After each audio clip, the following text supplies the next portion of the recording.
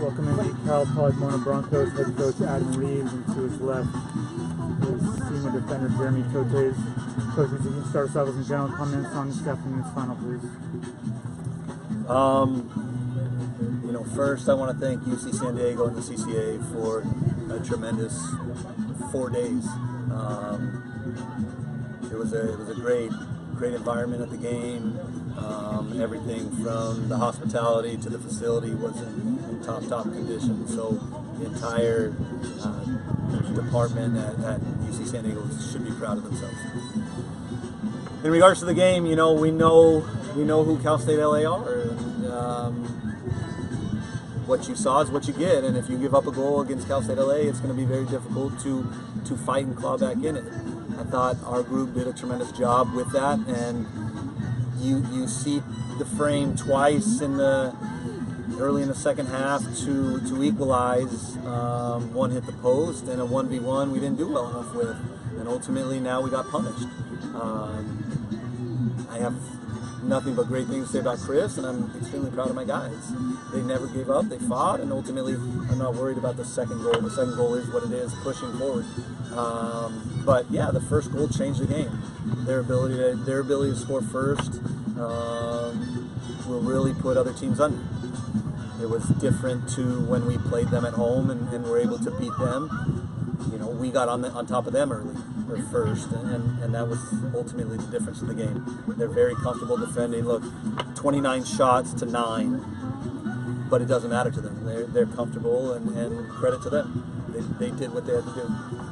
Jeremy, how did things look to you from that back line there? Shot early goal off the quick restart, and uh, like Coach said, one of those days just couldn't quite get that one back. Uh, describe the day for me, please, and the goal first of all, that first one.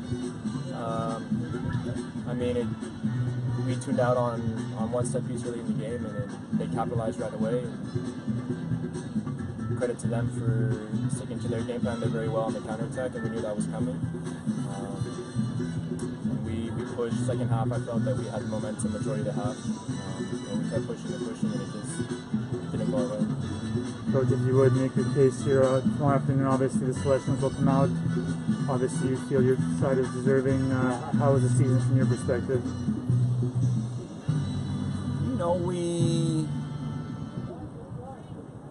look. We're an NCAA tournament team. That's all there is to it. We we went to the last day in the regular season um, in first place, and we're in the final of the toughest conference, definitely in the West region, and, and one of the toughest conferences in the country.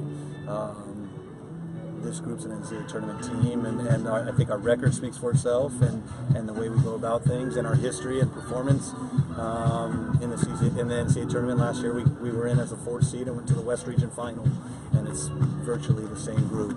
So uh, I would I would expect that you know to to see good things tomorrow and, and be ready to play whoever it is next Thursday or Friday. Jeremy, three straight West Region finals for your club. Uh, sure that you do not want this to be your last game. Uh, talk about uh, how you feel like the season went overall for you guys at this point. I mean, looking back on the season, there's nothing but positives. I mean, although we haven't won something yet, I think as a unit we we were together through thick and thin, and we still have a lot to play for. So we'll see how the outcome comes tomorrow, and then we'll move forward. Thanks, guys. Thank you.